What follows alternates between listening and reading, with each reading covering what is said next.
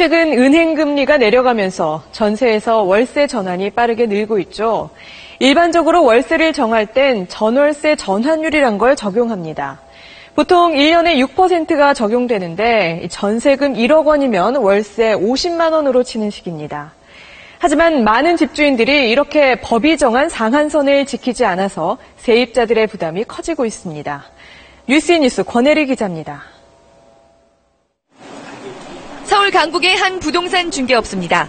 전세 시세가 1억 1천만 원인 다세대가 보증금 2천만 원에 월세 60만 원, 전세 1억 4천만 원짜리 연립은 보증금 3천에 월세 90만 원에 나와 있습니다. 전월세 전환율을 따져보면 최대 9.8%로 시중금리의 6배가 넘습니다. 집주인들에게 월세를 낮춰줄 수 있는지 물어봤습니다. 혹시 가격을 조금 낮추는 거 좀 가능하세요? 아, 그죠? 아, 좀 안 되실 것 같은 거예요? 아, 그래요, 그래요. 현행법에는 전세를 월세로 전환할 때 액수에 대한 상한 기준이 있습니다. 전환되는 전세 보증금의 10%나 한국은행 기준금리의 4배 가운데 낮은 쪽이 기준이 됩니다. 현재 기준금리로 따지면 전월세 전환율은 6%를 넘지 말아야 합니다.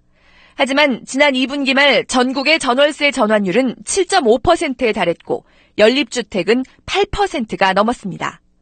현행 주택임대차 보호법은 전월세 전환율 상한선만 제시할 뿐 처벌 규정이 없어 법을 무시하고 맘대로 월세를 올리는 집주인들이 많은 겁니다.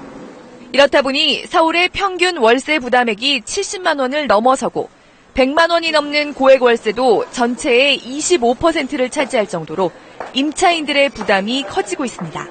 임대료의 적정 관리라는 것은 물가 관리의 한 방법인데 어, 그건 반시장적인 것이 결코 아닙니다. 일종의 물가 연동형 혹은 적정 임대료의 어떤 관리는 저는 주관적인 핵심이라고 보고 있습니다. 저금리가 이어지면서 전월세 거래 중 월세 비중이 45.5%까지 늘어나고 월세값도 계속 상승세를 타고 있습니다. 금리에 비해 월세가 지나치게 높아지지 않도록 미국이나 유럽 국가들처럼 실효성 있게 규제를 해야 한다는 목소리가 커지고 있습니다. SBS 권혜리입니다.